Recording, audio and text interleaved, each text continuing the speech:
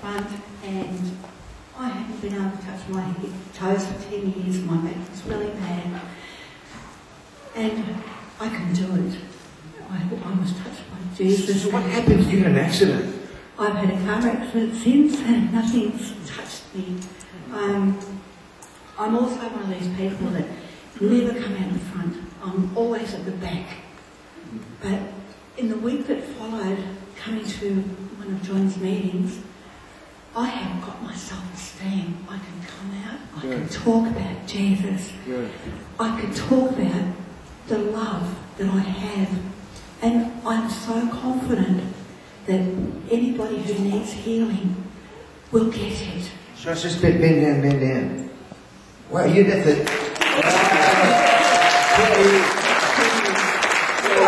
I also wear high heel shoes the first time. Isn't that wonderful? And, and God also not only touched you physically, touched you emotionally. I have been able to forgive people in my past that I have.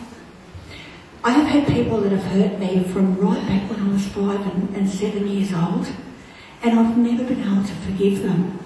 Hmm. I, I openly forgave these people, and the, the, the enlightenment, the, the actual positiveness that have come into my life, I just cannot explain it. Except that it's the Lord. Uh, that's the only thing I can say.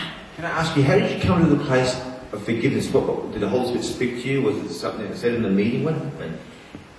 The Holy Spirit touched me. Um, it, my, I went to my own church on the Sunday, and my minister had run me during the week, and he said, "Would I speak in front of the congregation?" And I said, "Oh no, not me, not me."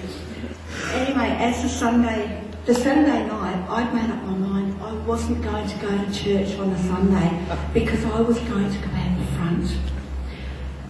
I got myself, I found myself up and dressed and in church and I'm thinking, oh, oh dear. While I was out there, I felt just this immediate joy.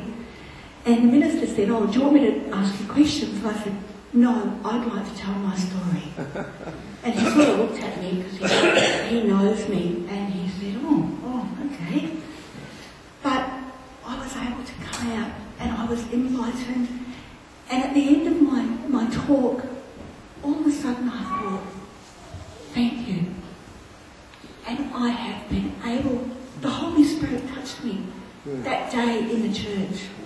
So you know, healing isn't just physically; it's also emotional. Yeah. And see, one of the keys to her being set free was forgiveness. Mm. You, you know, if you're in a seminar yesterday, I was sharing that unforgiveness blocks the power of God, blocks the healing power of God. Yeah. And there could be someone out there who needs a miracle. What would you like to say to them? Please come up and pray, but believe. Believe it can happen to you. I was one person that did not believe it could happen to me. And my self esteem, I must admit, I was in the congregation listening to John, and he asked for someone to come up, and I went, Me! I was thinking, No, not me. but I found myself at, and John will tell you, I could not face the congregation. Although I knew a lot of the people that were there, my, the whole time my back was to the congregation. And I've come from Bairnsdale. I know nobody here except the people that have come with me. And I can stand in front of you because the Lord has given me the confidence. He has given me the Holy Spirit to come out and pass His word on to you all. Please believe and have faith. He will touch you. God bless you. Thank you very much.